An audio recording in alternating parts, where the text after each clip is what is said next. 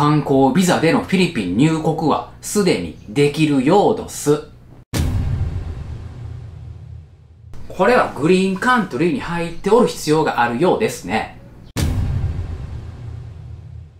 ボンボンマルコスの大統領選出馬が取り消される可能性が出てきちょりますよ。こいつはええけど、あいつはあかんで、みたいなね。まあ、この辺がね、実にフィリピンしちょるね。ジェジェジェ。あいなこう。エドワーです。いや、今日もね、曇っちょりますね。うん。ついにね、メトロマニラへ帰ってきましたよ。皆さん、フィリピンにしてますか？いや、メトロマニラはね、曇っておって、ちょっと厚めですね。まあ、こういう天気嫌じゃないね。さて今何度かなと、えっと、31.3度。ちょい厚め。ほんで湿度が60%ですね。まあまあ高めですね。今日のニュースの情報元は PTV、GMA、CNN、エスコマリのショーの YouTube チャンネルからになります。今日のニュース。さて皆さん、この間ね、外国人観光客の受け入れの準備はできちょるよ？とね、BI が発表しちょったでしょ。あとハリーロケちゃんね。これでね、世界中からいつや、いつからなんや、言うてね、問い合わせの方が BI にね、もう殺到も殺到しちょるようですよ。世界中の人たちがね、もうはよフィリピンしとうてしとうてね、しょうがないんでしょうね。もうね、フィリピンの近くの国々ではね、外国人観光客の受け入れをやっていっておりますからね。で、もうすぐね、受け入れを始めるところも出てきちょりますよね。あまあ、タイとかね、マレーシアとか、インドネシアとか、カンボディアとかね。あほいでね、これについて BI がついにアナウンスメントをしておりますよ。それによると BI はフィリピンはまだ外国人観光客の受け入れはやってないよ。とね言うておりますね。さらにフィリピン政府が国境を開くことを決定するまでは BI は外国人観光客の入国の制限をし続けるでしょうと言っておりますね。ほいでね、ちょっとね、意味深なことも言うておるんですよ。それが、フィリピンはまだ外国人観光客に対しては閉鎖がされたままだ。ながしかーし。グリーンカントリー、イエローカントリーの国からの場合、入国を許可されるかもしれませんと言うておりますね。なまら不透明でしょう。できるかもしれんし、できへんかもしれへんみたいなね、何やらようわからんですが、ほいでさらに BI は意味深なことを言うております。土幻化して観光ビザでフィリピン旅行をしたい人は、テンポラリービジタービザを申請しましょうと。ほいで、エントリーエグセンプションドキュメント、EED って言うんですけどね、これを取りましょうと言っておりますね。そうすれば、フィリピン入国ができますよって言うてんですよ。ほいてもね、相変わらずの今一情報はクリアではございません。したっけね、現段階でもフィリピンへはどうやら観光ビザでも入国ができるみたいですね。ほいでもそのためにはいろいろと書類関連を揃える必要があるみたいですね。テンポラリービジターズビザとかね、EED とかね。まあ多分他にもあるかもしれませんがね。まあ僕もね、これ、いまいちわかりませんね。そんだけしかアナウンスメントがされちょらんですからね。まあこういう時にはフィリピン Embassy ですね。まあ彼らに聞くんがええでしょう。ほいでね、BI は常に BI のウェブサイトを確認してくれとも言うておりますね。情報というものはバインバインとアップデートがされていっちょりますからね。したっけね、皆さん。現在でも観光ビザでフィリピンへ入国ができると。ほいでも Temporary Visitor's Visa を申請して EED を取りましょうちゅうことみたいですね。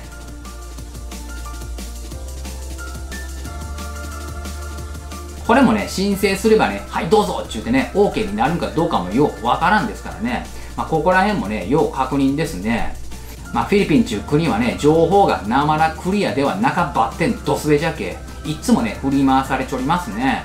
まあ、そういうところがね、どうでなくフィリピンをしちょるやん。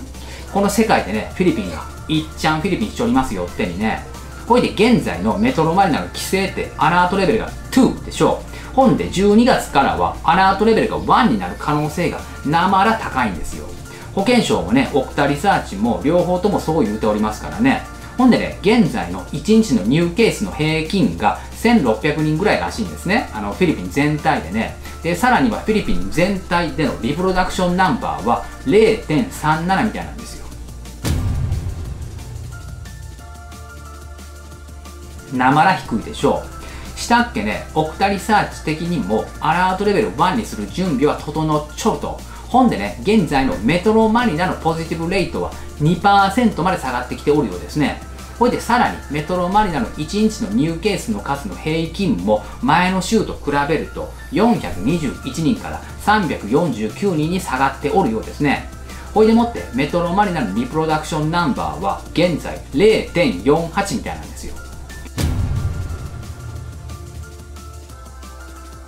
ほんでもってね、メトロマリナの中でもナボータス、カローカン、パテロス、マリキナ、バレンズエラはベリーローリスクのようですね。したっけね、そうなるともっと簡単に外国人観光客を受け入れていくようにも思いますね。今よりね。今のところはね、なんやいろいろと書類関連を揃える必要がありますからね。まあ、ほいでもね、気になっちゃう人は、フィリピンエンバシーに EED のことやら聞いてみるんが一番ですわね。本でね、ついさっきのことなんですけど、DOT からもね、発表があったんですよ。DOT っていうのはね、何ですか皆さん。そう、観光省ですね。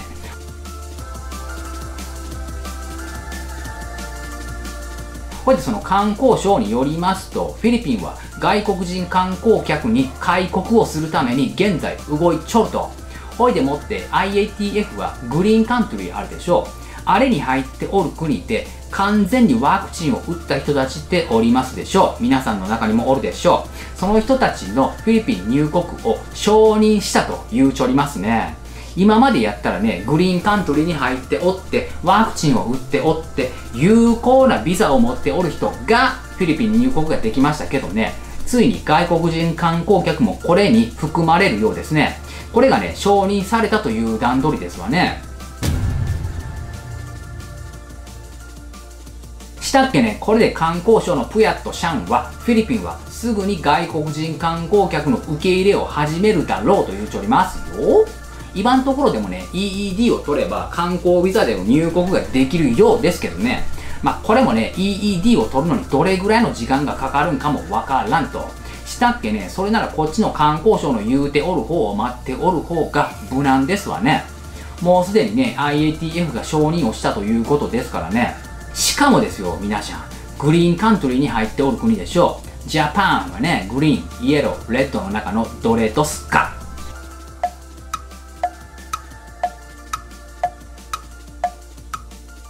そうです。そうなんです。 Japan はね、 Green List に入っちょるんですよね。だもんでもって、フィリピン政府が OK を出すや否や、ジャパンからのね、南ナシャンもフィリピンへ観光ビザでの入国ができるっちゅう寸法ですわね。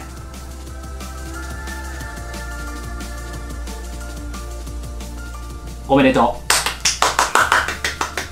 う。いやー、これなんやかんやで2年弱かかりましたね。まあ、ほいでもね、周りの国々々でもね、開国ラッシュでやんすからね、まあ、そろそろね、フィリピンも来るやろっち思っちゃいましたけどね。これでね、英語学校関連の人たちもね、そろそろ動き出す必要があるんではなかろうかっちゅう寸法ですね。まあ、来年にはね、もう英語留学がしたい人たちをね、受け入れていけることでしょうからね。いやー、これはね、なまら、なまらですね。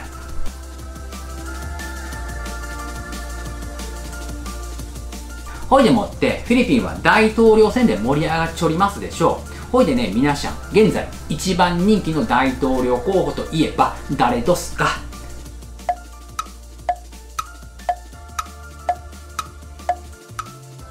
そう、ボンボンマルコスですね。いやー、どてらく人気のボンボンちゃんですね。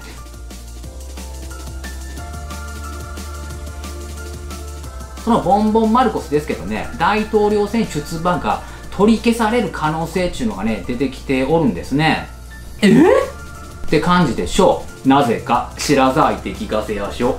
まずね、税金の問題ですね。まあ、この話はどてらく時間を遡るんですけどね。マルコスは1982年から1985年までの間って所得税を払ってなかったみたいなんですね。それでそれが原因で1995年に有罪判決を受けちょるんですよ。したっけ？これはまあ10年後ですね。えらいこと時間がかかっておりますね。で、その時にマルコスは罰金と3年の懲役刑を受けたんですね。ほいでもってね、マルコスは、まあ、罰金はちゃんと払っちょるんですよ。ほいでもね、豚箱へはなぜだか言ってはおりません。まあ、1995年のフィリピンったらね、何でもありでしょうからね、まあ、アンダーザテーブルですかね。まあ、そんなことがあったとか、なかったとか。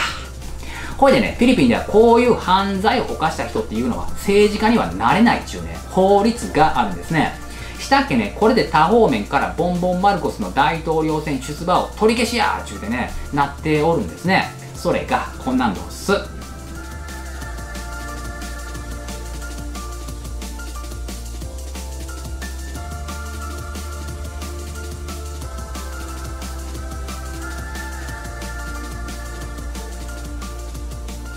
まあ、フィリピンにもね、そのような法律があるのはあるんですね。まあ、ほいでもね、ここでね、矛盾も矛盾ですけどね、ボンボンマルコスはね、以前は上院議員もやっておりましたしね、2016年には副大統領選にも出ておりましたからね、まあ、その時はね、こんなこと何の問題にもならんかったんですけどね、まあ、そこら辺お前、どないやねんっていう感じではありますが、まあ、そこら辺はね、なまらフィリピンしちょるやん。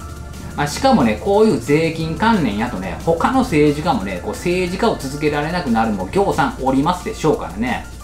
まあフィリピンではね、こいつはええけど、こいつはあかんで、みたいなのもね、確かに存在しますからね。ほいでね、僕はね、ここで点と点がね、繋がることがあったんですね。ああ言うてね、そうです。そうなんです。点と点が繋がって線になってしもうたんですね。えその話、聞きたかばってんですか？知らざいって聞かせやしょ。実はね、これがドゥテルテ大統領なんですね。この間ね、サラ・ドゥテルテ市長が副大統領選にこうバチンって出ておったでしょ。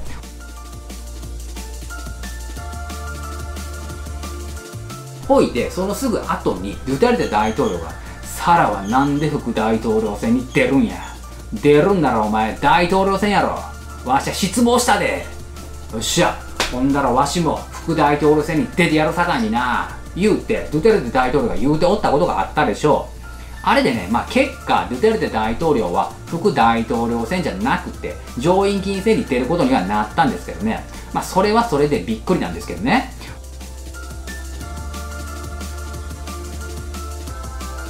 ほいで、あの話と、このマルコスのこの話はね、繋がっておると。僕はね、そんな風に思っちゃうんですよ。まずね、ドゥテルテ大統領はサラ・ドゥテルテ首相に出るんなら副大統領選やなくて大統領選に出てほしかったわけですよ。なぜか。これはね、もしもボンボンマルコスの大統領選出馬が取り消された場合のためやと思うんですがね。まあ保険みたいなもんですかね。だもんでもんで、ドゥテルテ大統領はさらに、わしはお前に失望したって言うておったんちゃうかなっち思っちゃうよ。したっけね、ドゥテルテ大統領は、もしかしたらボンボンマルコスの大統領選出馬は取り消される可能性があると、本気で思っておるんやと思うんですよね。ほいでね、あの後で、マニー・パッキャオ上院議員とドゥテルテ大統領はミーティングをやっちゃったでしょう。ほいでね、パッキャオ上院議員はドゥテルテ大統領にサポートをお願いしたんですね。よろしく言ってね。ほいでもね、ドゥテルテ大統領はこれをね、断っておったんですね。すまんな、言ってね。ほいで、その後に、ドゥテルテ大統領は、わしはパッキャオのこともマルコスのこともサポートはせえへんって言うておったでしょう。ほんで、わしがサポートするんは、ボンゴだけやって言うておったんですね。ボンボンマルコスの大統領選出馬が取り消される可能性がある境に、ドゥテルテ大統領はボンゴ上院議員をね、大統領選にこう出したんちゃうかなち、僕は思うちょるんですね。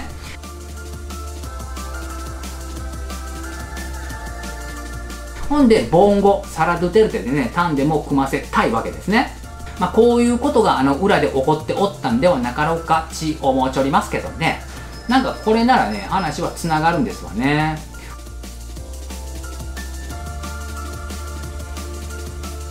ほいで、ドゥテルテ大統領は自分がやってきたこのプロジェクトあるでしょう。こっちの方もね、心配をしちょるんやと思うんですよ。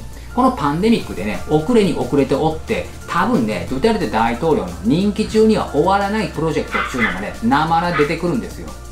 したっけね、その辺りのものを引き継いでやってくれる人に、次の大統領になってほしいチューンもあることでしょうね。ほんで、昨日の11月18日の感染者数ですが、1297人ですね。これ、なまら減っちょりますよ。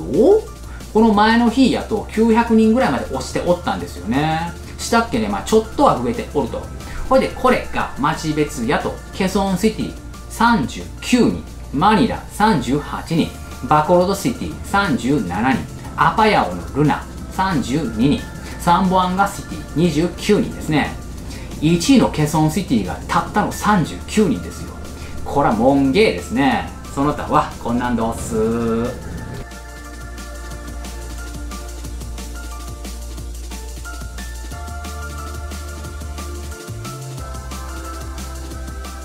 ほいで、これが州別やと、メトロマニラ231人、ネグロスオフィスデンタル102人、ネグロスオリエンタル98人、イサベラ68人、カガヤン44人ですね。メトロマリナもついにね、オクタリサーチの予測通り200人台まで落ちてきましたね。その他がこんなんどすえ。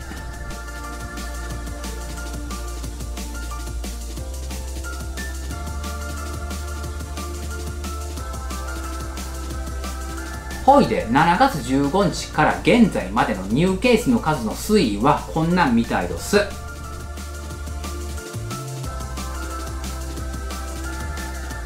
いやなまらね、こうね、減っていっちょりますね。山形になっちょりますね。ほんでね、ICU の入院率もほぼほぼ50%を下回っておりますね。メトロマニラでも現在のね、ICU の入院率が33%みたいですね。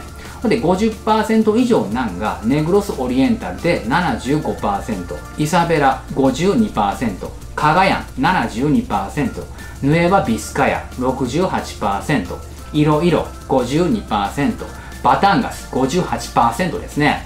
全体はこんなんどっす。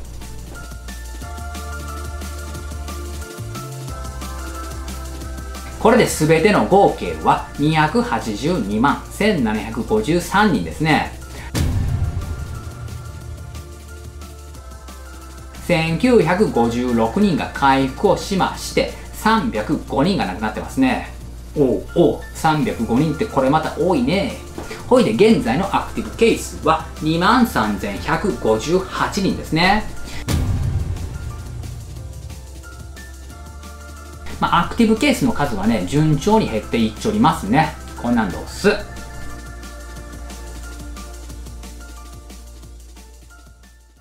では、ここで喉を潤しますよと。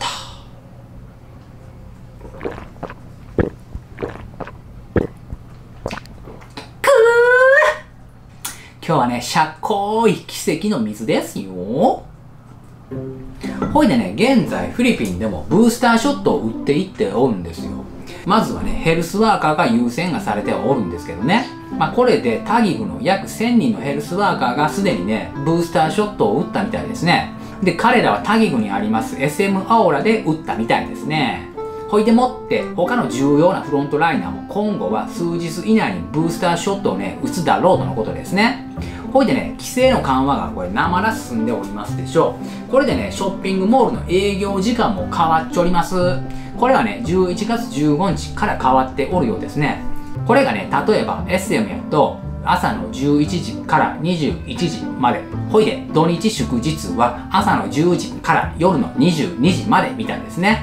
こんなんどうす。ほんで、その他のショッピングモールの営業時間はこんなんどす。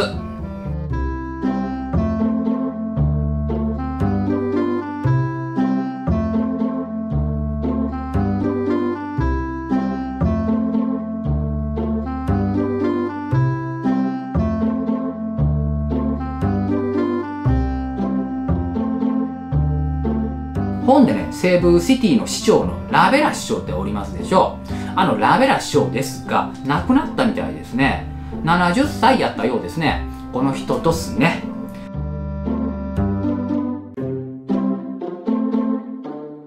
このラベラ師匠の死因についてはまだ明らかにはされてないようですねほいでもね、今年の初めの方から肺炎と戦っておったようですね。で、したっけね、よう休んでおったでしょう。ほんで、なんか行方不明になっておったこともありますしね。このラベラ師匠ね。チャンネル登録、グッドボタン、お頼もうします。それでは、お後がよろしいようで。